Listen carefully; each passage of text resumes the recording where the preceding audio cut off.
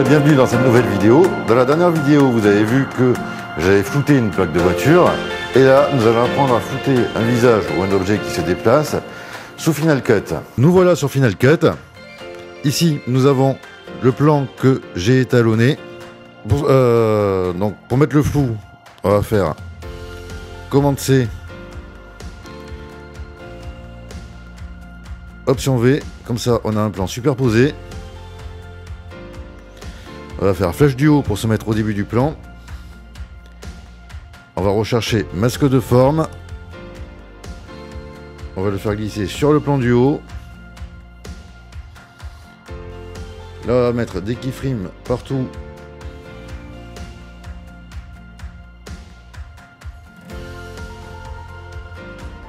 Pour avoir un suivi sur le plan. Flèche du bas. On va à la fin du plan. Allez. On remet des keyframes.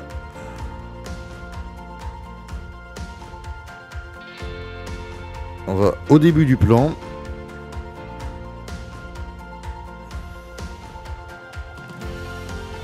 On positionne le plan sur la zone qu'on veut flouter. Après, on avance d'une image, on le repositionne.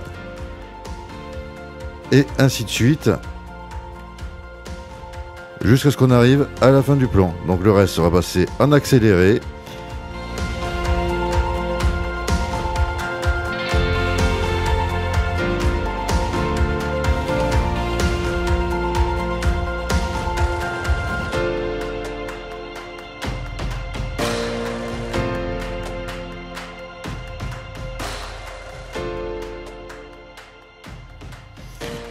Une fois que nous avons le masque qui suit bien le visage, nous allons revenir dans les effets.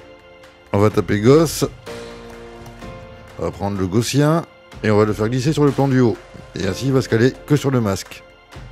Et maintenant, on va vous laisser observer le rendu.